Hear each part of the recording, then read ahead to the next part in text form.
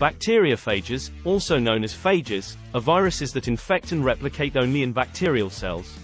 They are ubiquitous in the environment and are recognized as the most abundant biological agent on Earth.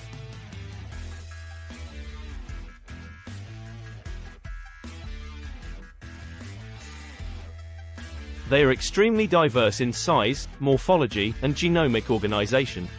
What does bacteriophage do to humans? Each phage can only kill one type of bacteria, so if a doctor knows what kind of bacteria is infecting a patient, it might be possible to give the patient a phage that can infect and kill that type of bacteria. Phages cannot infect human cells, and so they pose no threat to us.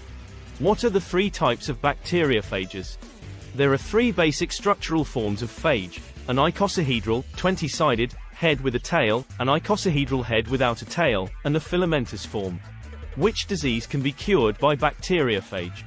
Oh give but a few examples, phages have been reported to be effective in treating staphylococcal lung infections, P. aeruginosa infections in cystic fibrosis patients, eye infections, neonatal sepsis, urinary tract infections, 40, and surgical wound infections.